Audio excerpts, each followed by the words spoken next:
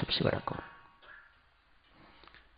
गुरु के लिए सबसे दुर्भाग्यपूर्ण दिवस वह है, जब वह अपने शिष्यों में देखता है, अपने सेवकों में देखता है। यह प्रश्न उठ रहा है, सबसे बड़ा कौन? महात्मा बुद्ध के वक्त भी ये प्रश्न उठा। सभी के वक्त उठा होगा। कोई नई बात नहीं है। आदमी तो वैसा ही वैसा ही है, चला रहा है। किसी किसी ने अपना उत्थान किया है। बाकी तो गिरावट पतन को ही प्राप्त हुए हैं। बाकी तो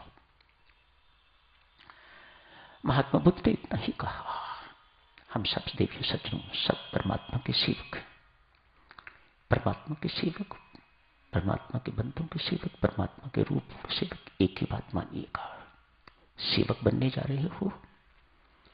नारायण भाव से सेवा करो। ये आपको बार बार कहा जा रहा है। इंसान की सेवा करोगे साधक जनों तो पतन को प्राप्त हो जाओगे। नारायण की सेवा करोगे तो सब कुछ मिलेगा। लोक भी सुधरेगा पर लोक भी सुधरेगा। निश्चित रहिएगा।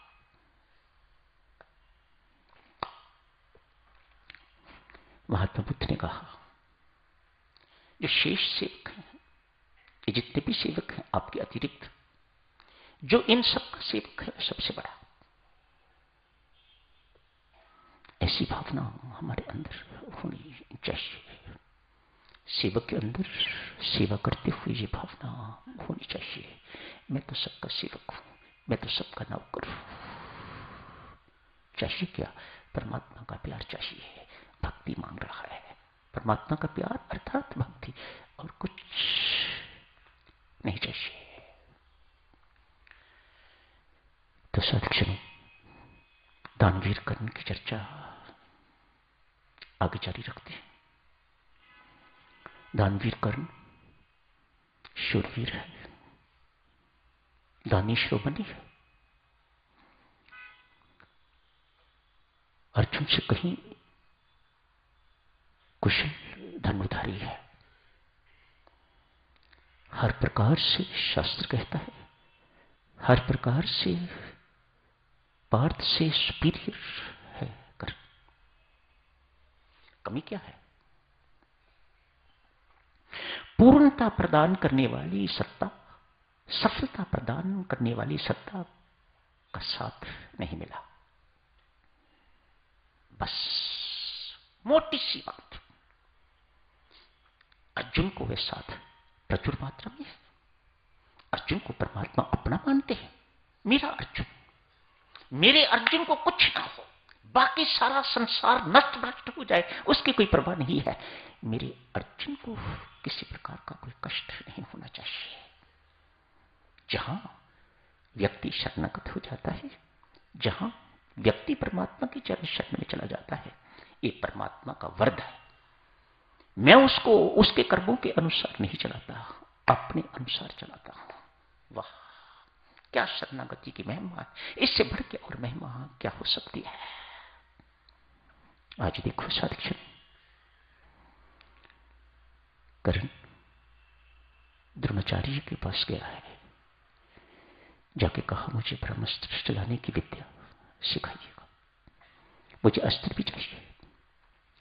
विद्या भी सीखनी है मुझे। द्रोणाचार्य उसकी कुटिल चाल को समझ गए। अतएव ना कर दी मना कर दिया। परशुराम के पास गया है। ब्राह्मण का वेश धारण करके। गुरु से छल कपट झूठ का आश्रय लेके बुराई का साथ देने के लिए जा रहा है। ये भगवान कहाँ सहन करेंगे? एक ब्राह्मण का रूप धारण करके, एक ब्राह्मण बन के अपने आप को ब्राह्मण घोषित करके, उन्हें पता है कि परशुराम ने यह प्रण लिया हुआ है कि मैं किसी क्षत्रिय को विद्या नहीं सिखाऊँगा। किसी कारणवश, आपको याद होगा, किसी कारणवश भीष्म पितामह के साथ उसका युद्ध हुआ था, परशुराम का गुरु और शिष्य के साथ। तब से निर्णय ले लिया कि मैं किसी क्षत्रिय को यह धन विद्या नहीं सिखाऊँगा। अतएव करण ब्राह्मण अपने आप को डिक्लेयर करके तो उनकी चरण शरण में गया है। झूठ का आश्रय लेके। प्रणाम विनाशकारी होगा कि नहीं होगा? अवश्य होगा। गुरु के साथ छल, गुरु के साथ कपट गुरु के साथ असत्य। इसका आश्रय लेके तो वह परशुराम के पास गया है। पर अपने आप को ब्राह्मण घोषित किया है। अतएव गुरु महाराज ने धनुर्विद्या सिखाई। अनेक वर्ष बीत गए। सिखाते सिखाते अनेक वर्ष बीत गए होंगे। आज गुरु परशुराम शिष्य की गोदी में सिर रख के आराम कर रहे हैं। आराम करते हुए एक कीड़ा बहुत जहरीला।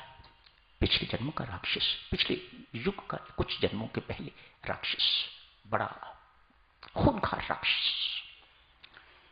परशुराम के पूर्वज महर्षि ऋषु की महर्षि भृगु की पत्नी का अपहरण करने वाला।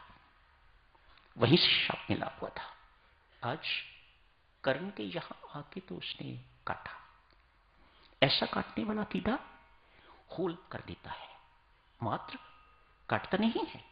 मात्र काटता नहीं है, ऐसा काटता है कि उस जगह पर होल हो जाता है, गहरा होल कर देता है।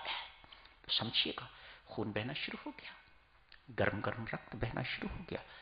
गुरु महाराज के चेहरे पर गर्म गर्म रक्त हिलना नहीं है, हिलूँगा तो गुरु महाराज को डिस्टर्बेंस होगी। अतएव हिलना नहीं था। गर्म गर्म रक्त परशुराम के मुख पर पड़ा तो अंकुश।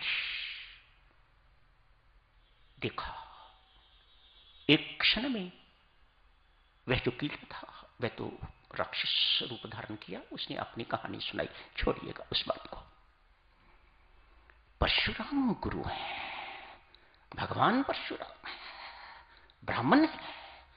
भृगु ऋषि के परिवार के कोई छोटी मोटी हस्ती नहीं है, भगवान परशुराम अतएव एक क्षण नहीं लगा झट से कहा करण सच बता तो कौन है? कोई ब्राह्मण इस प्रकार की असहनीय पीड़ा को सहन नहीं कर सकता।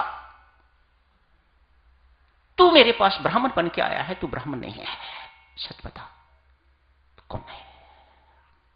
चट पकड़े। ब्राह्मण का रोष, गुरु महाराज का रोष। कौन सहन करे। गुरु रूठे कोई ठौर नहीं है। हरि रूठे गुरु ठौर है। गुरु रूठे नहीं ठौर।